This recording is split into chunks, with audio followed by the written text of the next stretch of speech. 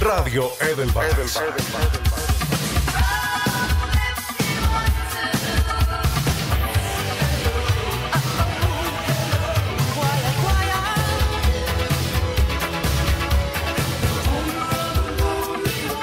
Somos Radio Edelweiss. Tu FM de clásicos favorita. En Edelweiss, el señor de los ochentas, continúa rebobinando tus neuronas con lo mejor de los clásicos.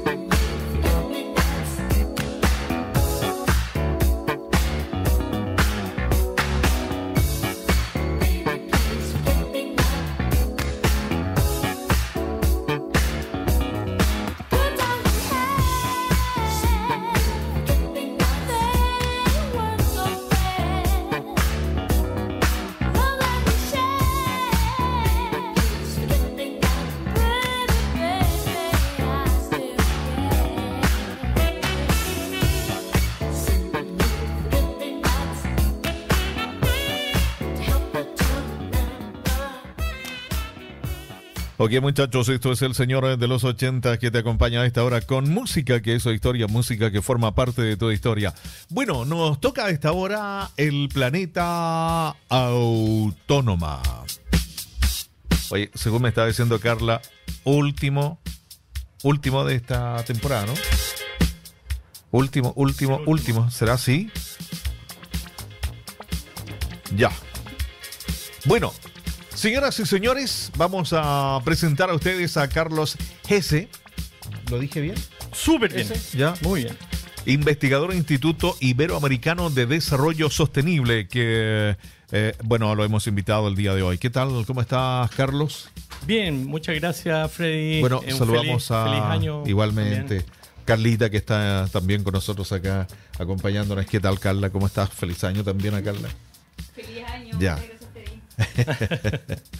Ok. Bueno, eh, convivir con cambios de temperaturas. Y la pregunta que muchos se han hecho, que yo también me la he hecho, es ¿qué se viene para el futuro? Wow.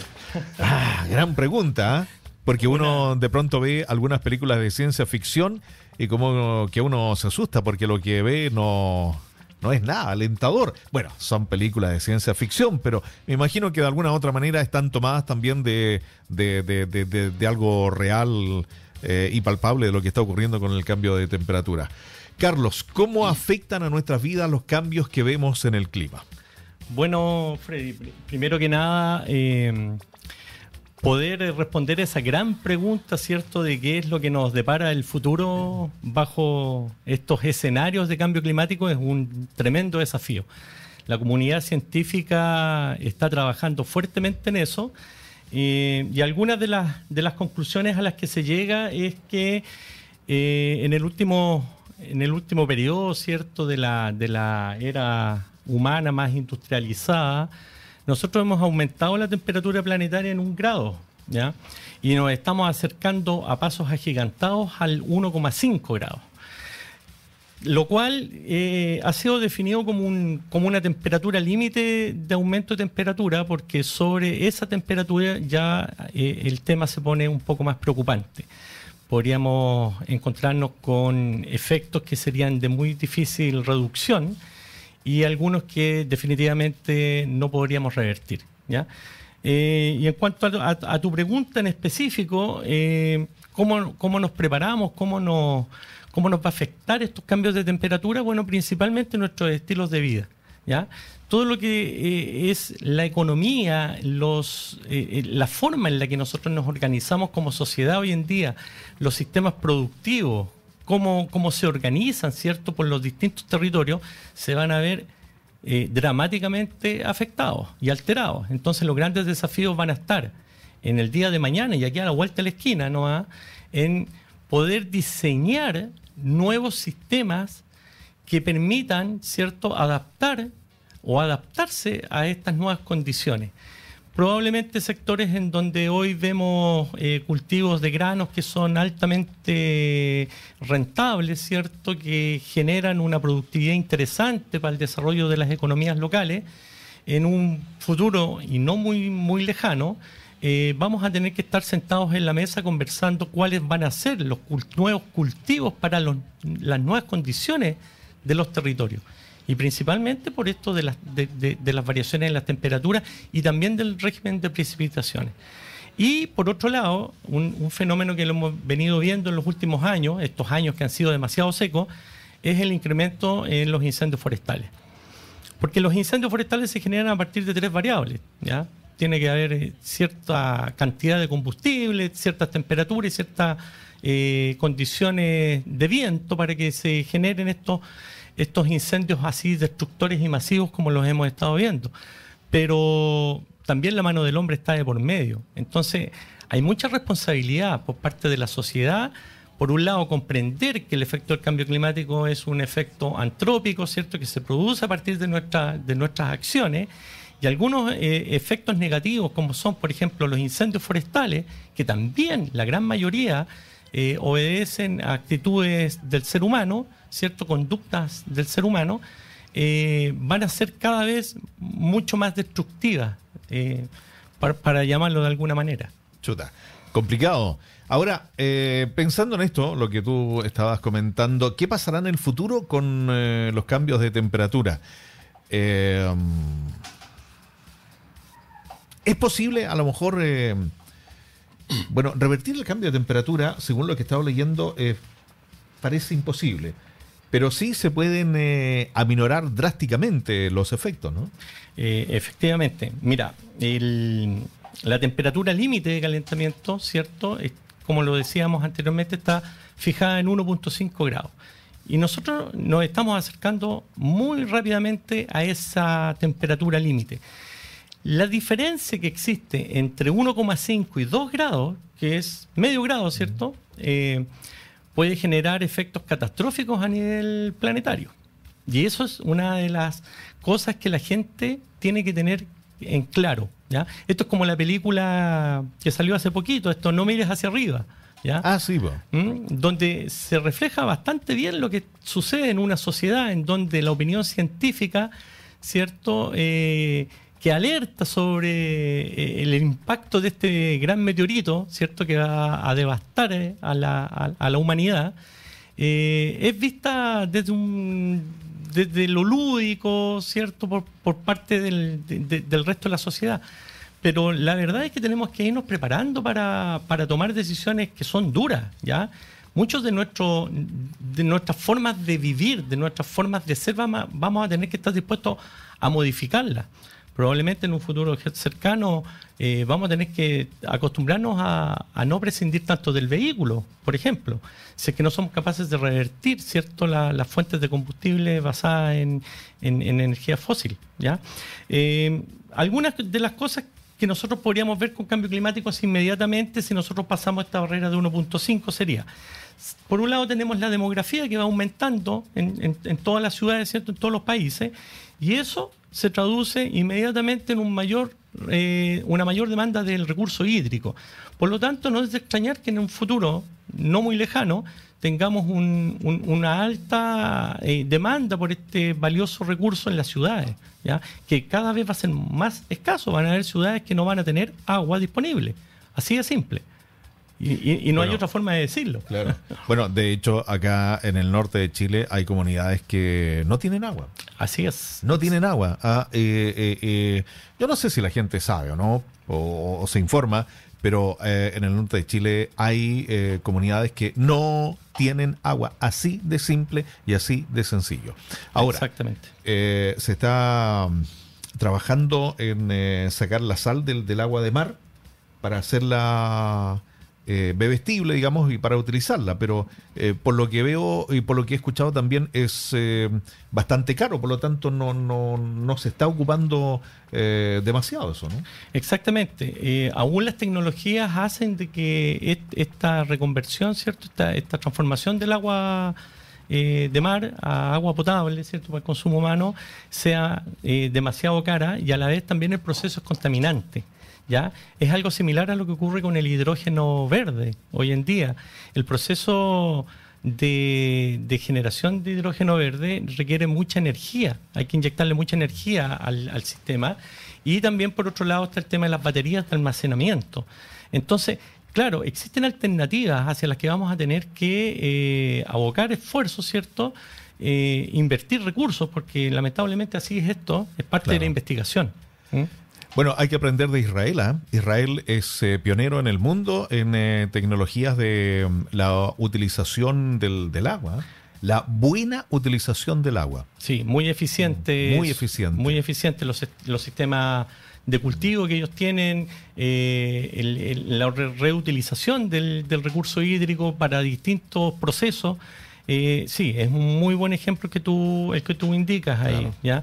En México también eh, hay algunas experiencias en donde se ha trabajado con, por ejemplo, eh, sistemas que hacen mucho más eficiente la entrega del agua hacia los distintos cultivos, ¿ya? como el agua sólida, por ejemplo, que es como esto, esta- est- estos juguetes que venían en, en- en- en- algunos dulces tiempo atrás, los famosos crescencios, ¿cierto?